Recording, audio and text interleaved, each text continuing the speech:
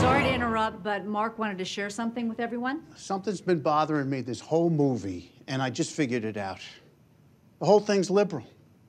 It's got a liberal bias. Interesting. Does anyone else feel that way?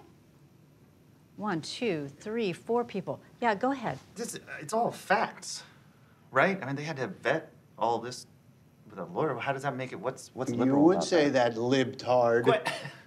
okay, I'm sorry. So because I have the ability to understand facts, that makes me a liberal. Okay, hmm. guys, let's just take it down. Hmm. You probably like Hillary. Let's take it down a notch or two, okay? Idiot. Okay. First of all, Hillary's not president. Okay, the the the, the orange Cheeto that you hired Guys. is the president, and he's ruining Trump the is the country best that thing in this claim country. love. He's sick as shit. John, now come in, please. First, I emptied the checking account and then I hit the mall. And there in the window was this sexy little outfit. And oh my gosh, I just had to have it. $1,500 for a leather bustier. I didn't care. It lifts and separates. Plus, it's not like I'm actually paying for it.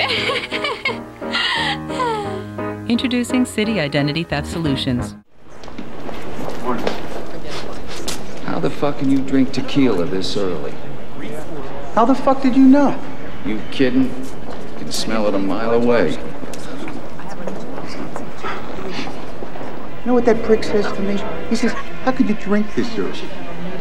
I mean, I put a drop of tequila in my coffee this morning, and he said he smelled it. Vijav Alazeus? He's not some kind of mystic out of the jungle, is he? No, no, he has a string of letters after his name. In fact, he's Dr. Alazeus. All right, thank you. Uh, can you uh, give his number to Mary, please? All right. And uh, Gary, Yeah.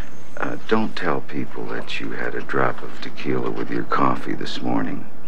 You didn't have coffee this morning.